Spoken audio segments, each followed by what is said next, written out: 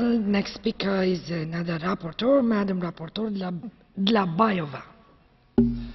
Eh, Děkuji mnohokrát, paní předsedající.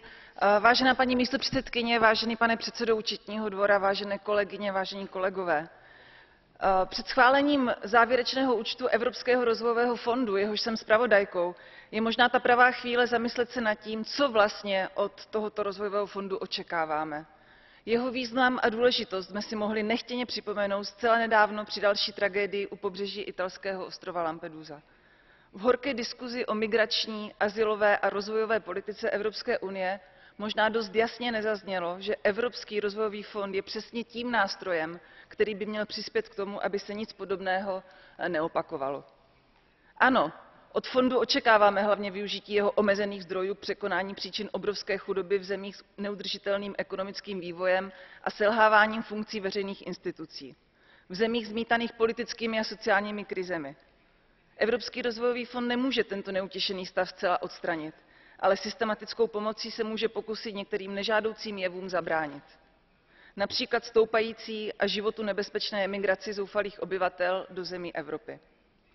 Pokud jde o discharge Evropského rozvojového fondu, považuji ho za vý- významný minimálně ze tří důvodů. Prvním je vyhodnocení jeho dosavadního fungování. Poučme se z chyb a inspirujme se tím, co se povedlo. Druhým důvodem je potřeba stanovit priority fondu s ohledem na měnící se potřeby rozvojového světa ve vztahu k Evropské unii.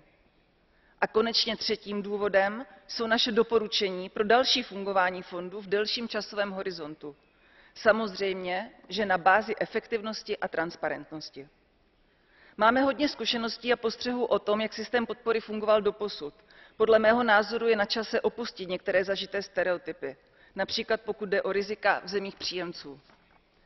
Riziko bylo prostě považováno za danost a k tomu odpovídala poměrně vysoká míra chybovosti řešených projektů, které navíc nepřinášely kýžený efekt. Taktéž monitorovací a kontrolní systém nevedl vždy k odstraňování zjištěných nedostatků. Ani přes celkově velký přínos podpory rozhodně nešlo v některých případech o optimální stav.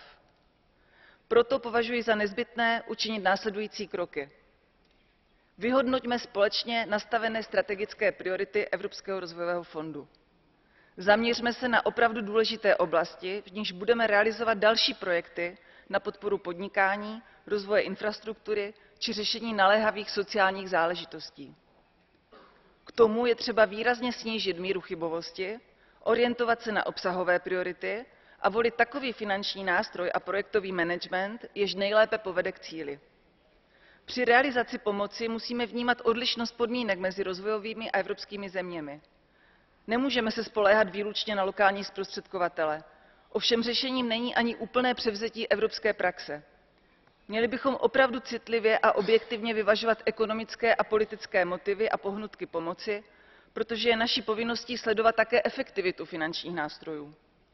Prostředky Evropského rozvojového fondu je třeba vnímat jako smysluplnou návratnou investici, nikoliv jako pouze dárek od bohatého evropského strýčka.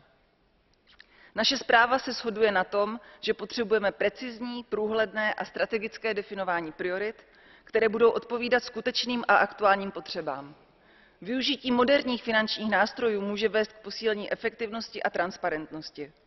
Doporučujeme přijetí funkčního systému zprávy, monitoringu a kontrolingu.